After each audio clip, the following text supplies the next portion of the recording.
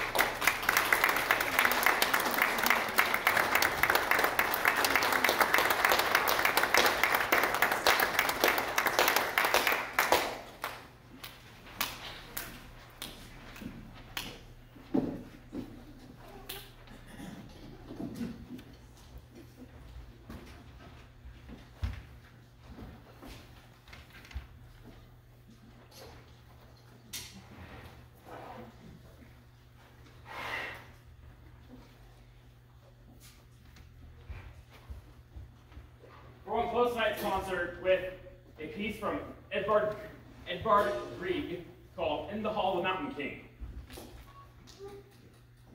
So, just for a little bit of backstory on this piece, for those of you that don't know it, the Mountain King was, if I pronounce the name right, Duvrigruben, and he was evil. On the mountain, evil, and this evokes the images of trolls and gnomes and goblins all coming together at his throne. So here is in the hall of Mountain